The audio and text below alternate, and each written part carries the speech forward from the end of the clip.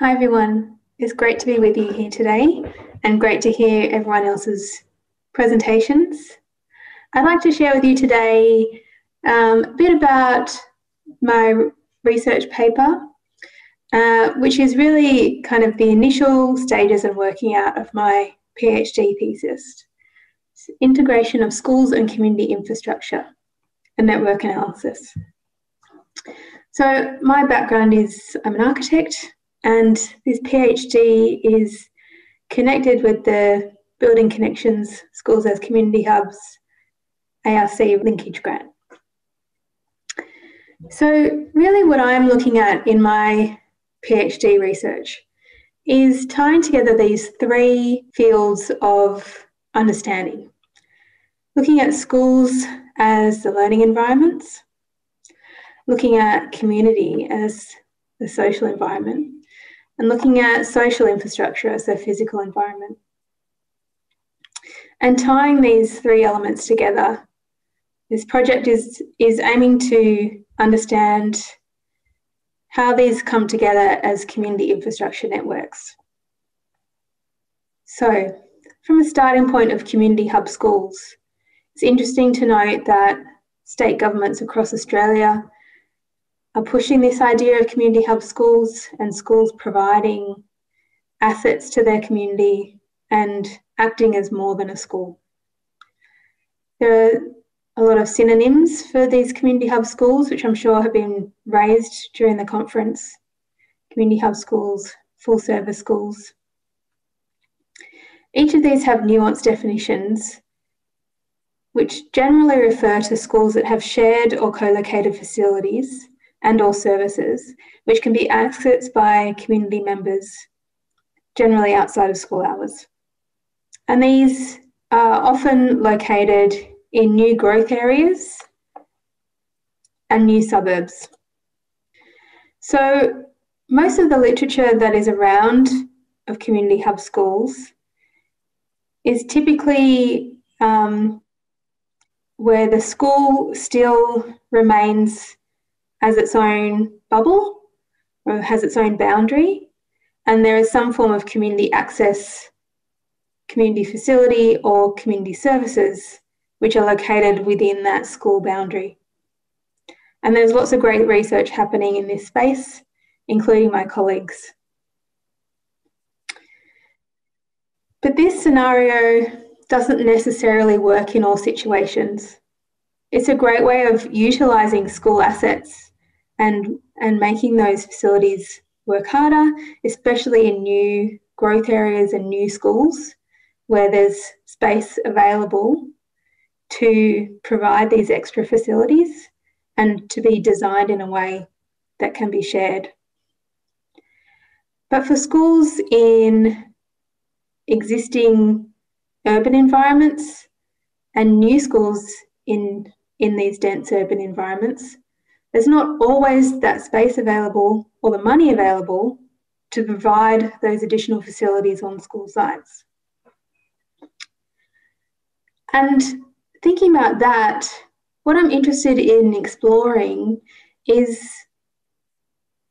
kind of stepping out, stepping back slightly from the schools as community hubs and looking at schools as uh, one part of a community infrastructure network where they both provide facilities for community and access community infrastructure, which is happening already in certain situations.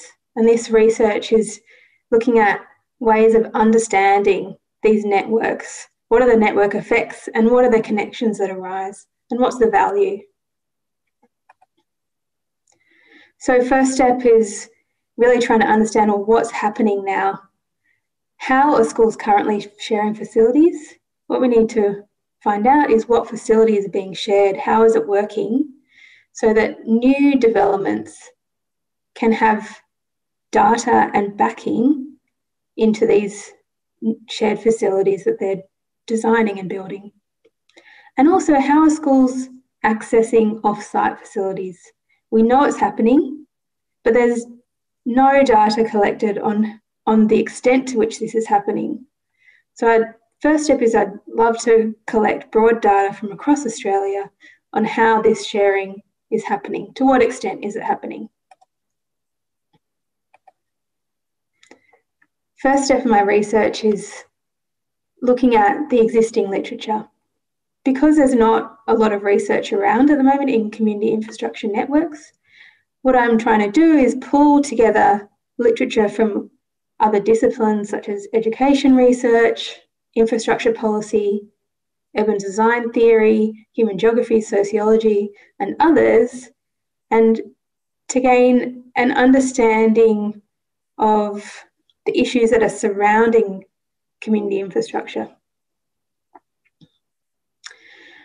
So, zooming into some of these areas, looking at um, Ken Fisher's paper on schools as social capital. Um, in this paper, Fisher speaks to the question of this really speaks to the question of why we're connecting schools and communities and what's the benefit. So Fisher just defines social capital is dependent on trust, reciprocity, networks, and cooperation. And he also says that given the concern for safety is uppermost in society, these ideas of trust, reciprocity, networks, and cooperation are seemingly deliberately designed out, which is removing the opportunity for social capital. So, given this was raised back in 1998 and still the same issues are being discussed, it's really important to. Well, one of the things I, I want to look at during this research is think about how both safety and connection can be achieved. And I know this is a question that a lot of people are working with and and answering in different ways. So I'm looking forward to seeing how this is being tackled.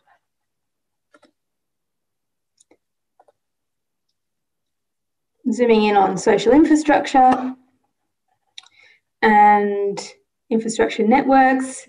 Interestingly, Infrastructure Australia included social infrastructure for their first time in their infrastructure audit last year. And within the audit, there's a lot of references to social infrastructure networks, but how do social infrastructure networks occur in practice? There's no data looking at looking at how these networks operate. And then what even are networks?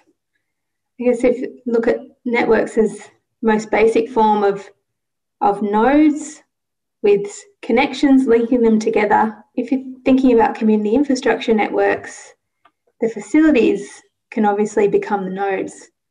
But what are the links in these networks? This is one of the main research questions that I will be trying to map through this PhD process. And what's happening now? So we've got community facilities in Australia, which, like schools, have historically been standalone buildings. So they're not kind of understood as a network originally. That's not how they're developed. And same with schools. And then we've had we've had studies showing that in Victoria, as many as two thirds of Victorian schools are sharing their facilities. But there's acknowledged that there's not much coordination of this activity. So, in wrapping up, this project is starting from the point of how we can better utilise school assets, taking a step back and looking at how schools can operate with a network or do operate within a network of social infrastructure, and how we can conceptualise the network and how can this assist in making decisions about what facilities are needed where and for what purpose, and what does the network analysis show us. Thank you.